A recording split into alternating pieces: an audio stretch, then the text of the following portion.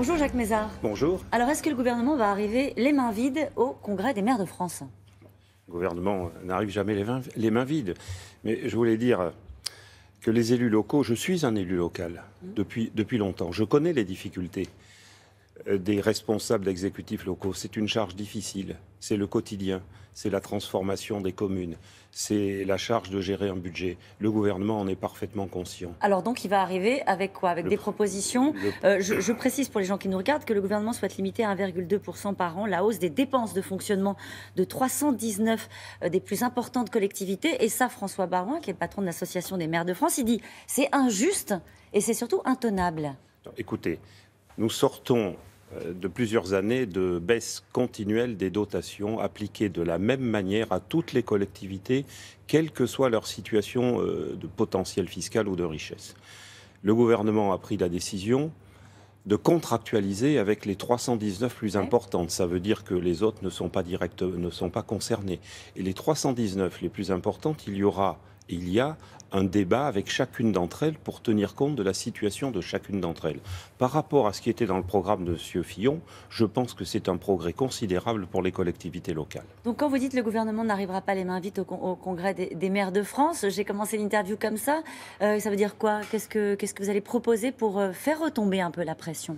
Le président de la République s'exprimera euh, lors de ce congrès. C'est le centenaire de l'Association des maires de France pour euh, exprimer très clairement la volonté du gouvernement d'être euh, en situation de concertation et de co-construction avec les collectivités locales. Je ne déflorerai pas les annonces du président de la République. Mais... mais il y a la volonté de, quand même de faire un geste. Bien sûr, mais bien sûr, et d'ailleurs il n'y a jamais eu la volonté euh, de mener une politique contre les collectivités locales. Ça n'a aucun sens.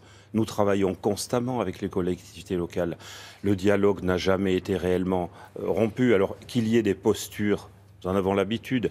Quel est le gouvernement qui n'a pas eu euh, quelques conflits ou quelques heures avec les associations d'élus? Il y a une instrumentalisation politique un peu, c'est naturel, mais on passera au-delà de, cela. Moi, vous savez, je suis, j'ai toujours été pour le dialogue. Je sais vraiment ce que c'est que la gestion d'une collectivité. Alors, il y a deux choses qui sont en train de s'écrire autour du, président de la République. C'est d'un côté, il serait, en tout cas, c'est ce que dit l'opposition, le président des riches, et de l'autre côté, il serait un président euh, hors sol, déconnecté euh, des territoires. Non, écoutez, ça vous fait sourire, c'est déjà ça Oui, oui, parce que je l'ai suivi pendant sa campagne euh, présidentielle. Je le vois souvent. Euh, c'est un homme qui connaît les territoires, qui connaît bien la France. Du nord de la France au sud, à l'est, à l'ouest, les territoires. Et je peux dire qu'il connaît chaque circonscription. Donc il, a, il a la connaissance du pays il veut transformer ce pays. Ça ne se fait pas facilement. C'est normal que ça ne se fasse pas facilement. Mais je vous assure qu'il n'est pas du tout hors sol et que ce n'est pas le président des riches, c'est le président de la République française. 150 mmh. euh, élus locaux ancrés à gauche lancent un appel contre la vision comptable euh, d'Emmanuel Macron. Je ne sais pas si vous l'avez vu, il y en a presque toutes les semaines hein, des appels d'élus euh, en colère. Ce n'est pas le premier, ce ne sera pas le dernier. vous pensez qu'à l'issue du Congrès des maires de France, il serait bon de tourner une page euh, vis-à-vis de, voilà, de ces élus, de cette colère qui s'exprime. L'État et les collectivités locales doivent travailler ensemble et ils travaillent ensemble, ils continueront à travailler ensemble. Qu'il y ait ces expressions-là, on en a l'habitude, c'est pas nouveau. Bien sûr, il faut écouter. Les, élus locaux, j'en sais quelque chose, n'ont pas mm. toujours tort. Et ceux qui remontent du terrain, parce qu'ils sont bien placés sur le terrain pour savoir, eh bien, nous en tenons compte et c'est naturel.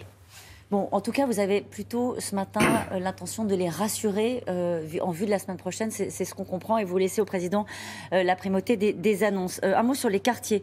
Emmanuel Macron s'est déplacé dans les quartiers ces deux derniers jours. Il a fait des annonces et je vous avoue que je ne vois pas la singularité, la différence de, de l'approche d'Emmanuel Macron qui nous avait promis pendant cette campagne une révolution. Testing dans les entreprises pour lutter contre la discrimination, des blocages de moyens pour la politique de la vie quelle est la singularité de son approche? Qu'est-ce qu'il a de différent? Et il rappelle même un ancien ministre de la ville qui est Jean-Louis Borloo. En quoi fait-il différent?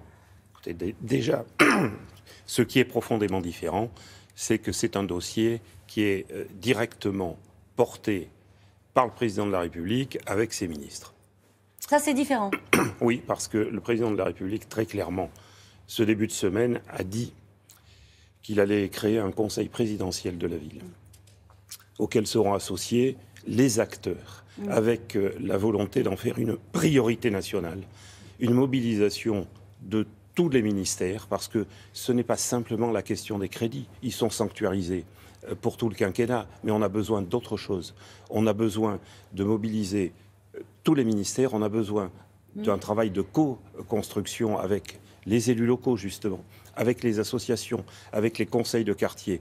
Et vous l'avez rappelé, avec le concours, et, j'y ai tenu, de Jean-Louis Borloo, qui a une légitimité en la matière, nous allons travailler justement à ce plan qui sera prêt dans les trois mois. Vous aviez besoin de Jean-Louis Borloo? Le ministre de la Cohésion des Territoires ne suffisait pas pour porter ce dossier? Bien sûr, mais vous savez, c'est jamais une mauvaise chose de s'entourer de ceux qui ont une expérience particulière dans un dossier. Moi, je suis pour le dialogue, je suis pour euh, la concertation et vous savez, travailler et rassembler mm. tous ceux, tous ceux, je dis bien tous ceux, qui ont une compétence dans un dossier mm. aussi difficile, parce que les quartiers prioritaires, nous connaissons leur fragilité.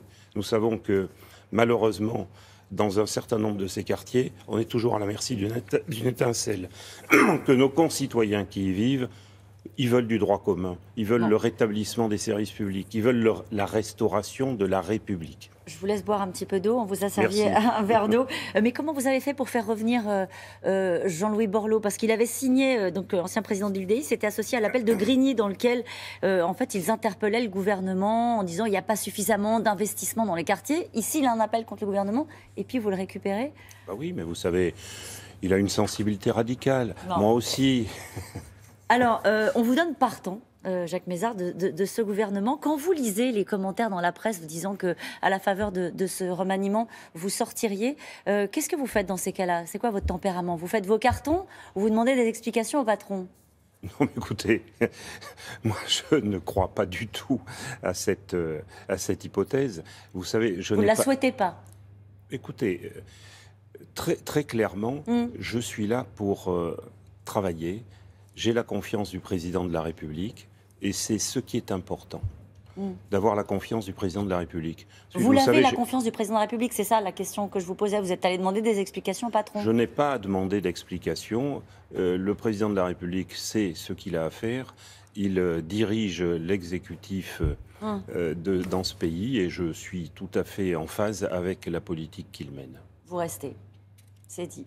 C'est à vous, Laurent. Merci Caroline, très belle journée à tous les deux.